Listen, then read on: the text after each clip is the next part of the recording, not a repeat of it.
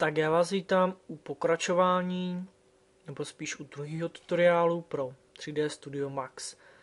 Uh, minule jsem celých 15 minut spíš prokecal, uh, bohužel možná pro vás, ale mi to ani tak nějak nevadí. Já o tomhle docela rád mluvím, protože mi to i docela zajímá všechno tady okolo téhle softwaru a podobně okolo filmových efektů a všeho. Takže koho to zajímalo, tak si snad z toho něco odnesl a dozvěděl se zase něco víc. Koho to nezajímalo, tak to samozřejmě mohl vypnout a mohl si myslet svoje. No jak jsem slíbil, tak v tomto tutoriálu už si konečně ten Max otevřené, takže si otevřeme. Uh, jinak, uh, jak jsem říkal, ten link na trial verzi, kterou si můžete stáhnout bezstresně uh, ze stránek Autodesku, je jak pro 64-bitový, tak pro 32-bitový, tak i pro třeba Macy, pokud máte eh, jiný operační systémy než Windowsy. Takže tam si to můžete v klidu stáhnout. Ten trial, myslím, že ani tak není zas takový trial, je to myslím, že normální plná verze, myslím, že tam nic nechybí oproti plné verzi, co jsem teda nějak sledoval, takže nemusíte se bát, že by vám něco, myslím, chybělo, jak mě. Pokud máte třeba někdo starší verzi, tak bohužel uh, tam může být třeba to rozhraní trošku vypadat jinak, může tam být třeba o pár funkcí navíc, ale to prostě bohužel. Já mám nejnovější verzi, to je 2012. Vždycky je nejlepší, když si nějaký ten trial stáhnete přímo z těch stránek, máte jistotu, uh, že, vám, že ten trial rozjedete a máte prostě nejnovější, nejaktuálnější verzi. Takže já si ho spustím. On se na poprvé spouští docela rychle, ne rychle, teda pomale. Spíš až potom, když to třeba zavřete, eh, když máte zaplý počítač třeba ve dne, zavřete Max a pak když ho spouštíte po druhý, tak už se vždycky ten program spouští rychlejš, tak jako u ostatních softwarů to je. Takže teď si ho necháme načíst. Takže jak jsem říkal, tady je to krásný logo 3D Studia Max. Vidíte název firmy.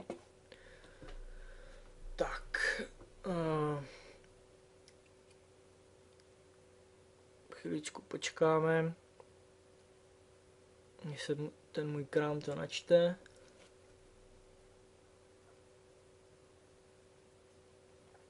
Tak. Teď máme před sebou v plný svý kráse 3D Studio Max, když ho poprvé otevřete.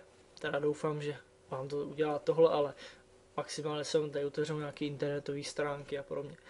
Takže tady se vám objeví hnedka zprvu nějaký dialogový okno, který jednak tady v téhle levé části máte asi 6 tutoriálů, který si můžete takhle kliknete a i když nemáte připojení k internetu, tak se tady dá, myslím, v pohodě ten tutoriál najít, nebo aspoň mně se to teda takhle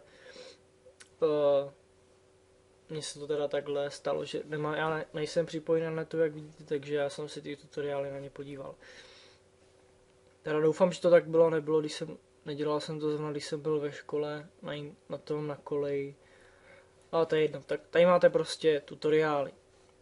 Klasický prostě nějaká seznámení s tím prostředím, vytvoření objektů, editing, čili nějaká úprava objektů, eh, přiřazení materiálu, to znamená nějaká texturace, pak máte tady světla, kamery a nakonec výsledná animace. No, takže máme tady teďka, eh, teď se vás to ptá, jako v každém programu, jestli chcete vytvořit novou scénu, po případě eh, otevřít nějaký existující projekt a máte tady nabídku z předchozích projektů posledních, takže já si otevřu novou scénu, New Empty scénu.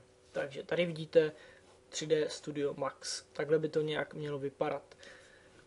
Eh, starší třeba 2008 mají trošku jiný to rozložení, ale to je jedno. Jako no, většinou prostě to musíte z toho poznat, jo. to je ve většině těch programů stejný nebo podobný.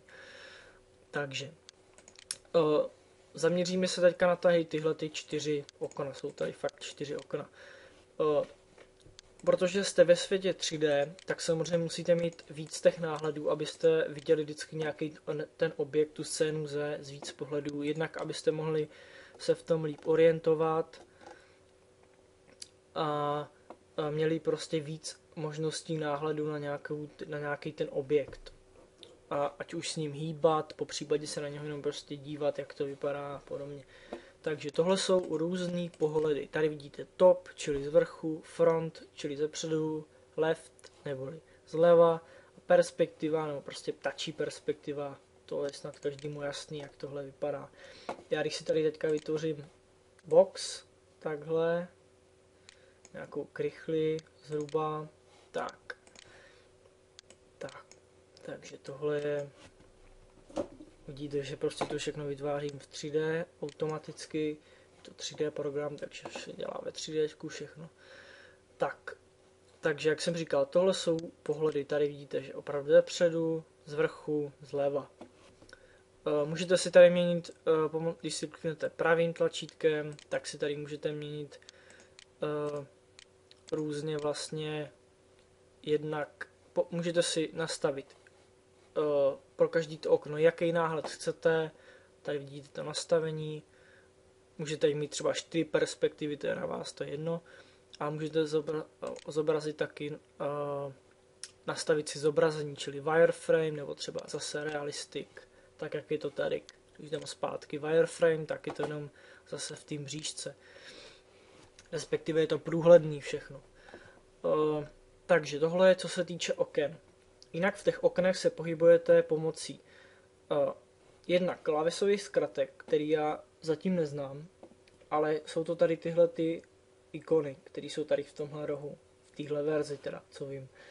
Uh, takže klasika je tady tenhle zoomovací nástroj, pak je tady zoomovací nástroj, který když si označíte, tak se vám jako když všechny ty náhledy, jak vidíte, pak je tady hand tool, čili klasická pacička pro jenom doleva, doprava, nahoru, dolů. Pak zase tady takový přibližování a nakonec samozřejmě nějaká orbita, pomocí níž rotujete ve scéně okolo nějakého objektu, který jste si právě označili.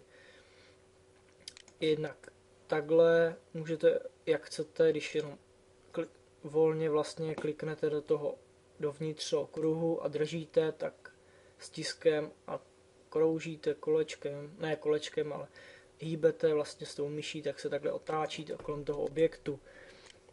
Uh, pak je tady, uh, samozřejmě můžete najít tady na tyhle osy a otáčet se pouze jenom nahoru dolů nebo doleva, doprava. Takže tady si projeďte nástroje pro pohyb v těch oknech.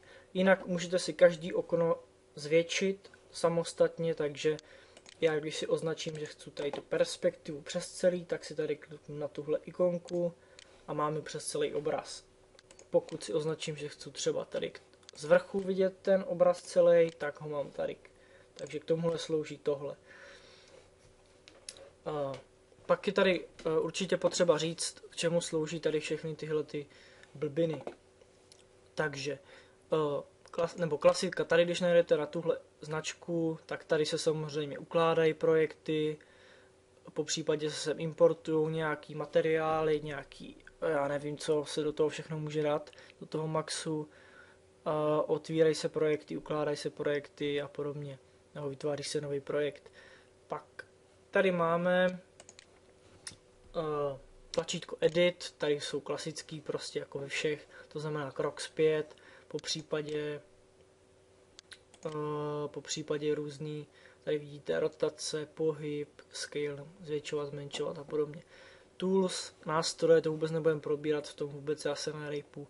Group, tohle slouží pro hrom, nějaký hromadný označení, to znamená, dejme tomu, že já tady budu mít těch krychlých 10 a budu chtít hýbat se všema naraz, takže si označím, dám tady group, a pak už pohnu se všema těma krychlema najednou jedním tahem.